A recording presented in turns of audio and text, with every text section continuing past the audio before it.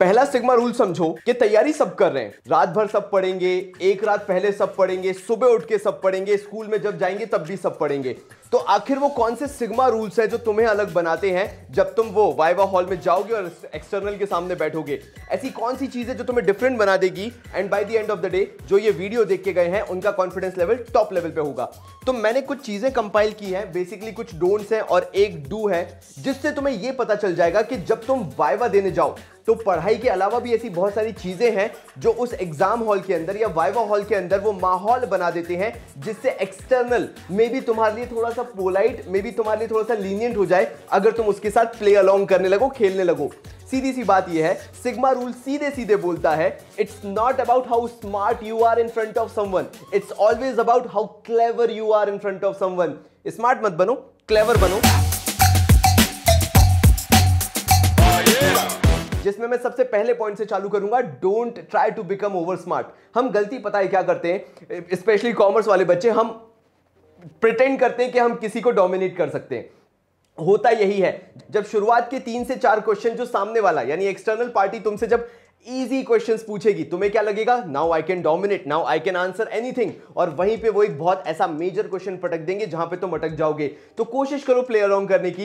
थोड़ा सा कॉन्फिडेंट रहो, लेकिन साथ साथ में थोड़ा सा इस तरह से प्रिटेंड करो कि यस यू नो बट हाँ तुम स्टडी करके आए हो, ना कि तुम ओवर स्मार्ट बनना चाह रहे हो। जितना पूछे, उतना आंसर करके खत्म कर दो कॉन्वर्सेशन को वहीं पे कट कर दो।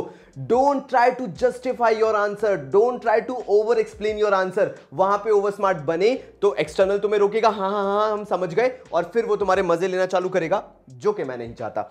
सेकेंड पॉइंट जो होता है don't pretend like you know everything जैसा मैंने बोला, जहाँ तुम ओवर स्मार्ट बनना चालू करते हो, वहाँ तुम्हारी फीलिंग क्या आ जाती है? कि तुम्हें सब पता है। यू नो एवरीथिंग बल्कि एक्सटर्नल जानता है कि तुम बारहवीं के छात्र हो और कहीं ना कहीं तो तुम्हारी लिमिटेशन होगी। शायद बुक में पूरा पता हो बट बियॉन्ड बुक जाके तुम कहीं पे लिमिटेड हो जाओ। और उसी चीज़ का एक्सटर्नल फ़ायदा उठाना चालू कर देगा, अगर तुम किसी भी चीज़ को ओवर एक्सप्लेन करोगे। मतलब ऐसे शॉर्ट टाइम में कट कर दो कि एक्सटर्नल भी बहुत चक्कर रह जाए, कि क्या आंसर पूरा हो गया? And you will say yes sir मैंने पूरा आंसर दे दिया है. एंड वहाँ पे एक्सटर्नल जो सोच के बैठा होगा ना कि वो तुम्हें रोकेगा। सिग्मा रूल से कि तुमने खुद से अपने आप को रोक लिया, किसी और को तुम्हें रोकने की ज़रूरत नहीं पड़ी। Now comes number three be calm and keep smiling मतलब वो जो और होता है ना, वहाँ का माहौल जो देखने को मिलता है, जब सारे बच्चे डरे हुए बैठे रहेंगे सिग्मा रूल कहता है कि काम रहो। क्या ही होगा ज़्यादा से ज़्यादा, कम मार्क्स आएँगे, कोई दिक्कत नहीं चिल है। हिमालय पे बस जाएँगे जाके, कोई दिक्कत नहीं है, कम ही मार्क्स आएँगे ना, संन्यास ले लेंगे। लेकिन काम रहो। और स्माइल करते रहो। क्योंकि अगर चीज़ें तुम्हारे हाथ में नहीं है तो नहीं है। और अगर चीज़ें तुम्हारे हाथ में है तो तुम्हारे हाथ में है, कोई तुम्हारे हाथ से छीन नहीं सकता है। जैसे मैं तुम्हें बता रहा हूँ कि तुम्हारे हाथ में कैसे रहेंगी चीज़ें। सो बी काम आराम से बातें करो एंड कीप स्माइलिंग एंड हाँ ओवर नहीं बोलना है किसी भी हद से।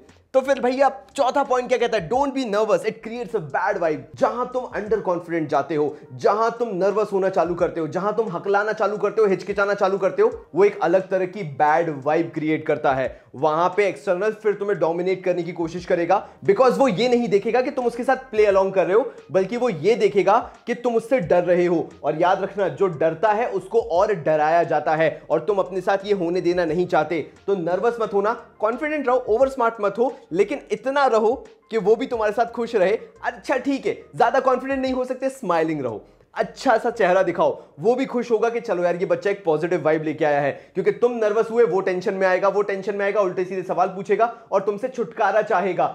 छुटकारा चाहने के लिए वो तुम्हें बाहर भेज देगा। तुम्हारा वाइवा बर्बाद हो जाएगा, जो कि मैं नहीं चाहता हूँ। एंड लास्ट चीज़ डोंट वेस्ट टाइम एक्सटर्नल के साथ सबसे बड़ा फैक्टर क्या है? या तुम्हारा सिग्मा रूल क्या होना चाहिए? तुम्हें क्या पता होना चाहिए? हर एक इंसान के लिए उसका टाइम बहुत क्रूशल है। सिग्मा रूल ये कहता है कि अगर उसको दोबारा दूसरे दिन आना पड़े, सिर्फ़ तुम्हारे कारण कि तुमने उसका टाइम वेस्ट किया, वो बहुत बड़ा फैक्टर हो जाएगा। क्योंकि उसको दो शिफ्ट में पूरा वाइवा लेना पड़ेगा बिकॉज़ बच्चों ने उसका बहुत टाइम खाया। और होगा ये, क्योंकि सारे बच्चे तो ये वीडियो देख नहीं रहे, तुम अकेले हो जो ये वीडियो देख रहे हो। तो होगा क्या?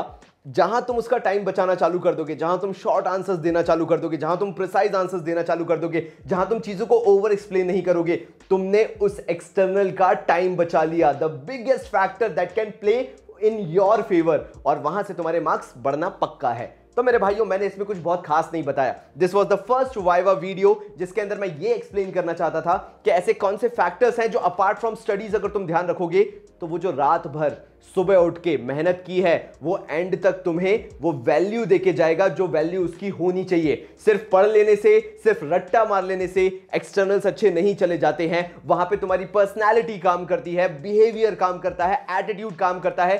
तब जाके तुम्हारा वाइवा अच्छा होता है। एंड ये वो इंसान बता रहा है जिसने खुद ने वाइवा में 20 आउट ऑफ़ 20 स्कोर किया था। तो मिलता हूँ मेरे भाइयों अगले वीडियो में। तब तक के लिए बहुत सारा प्यार और धन्यवाद।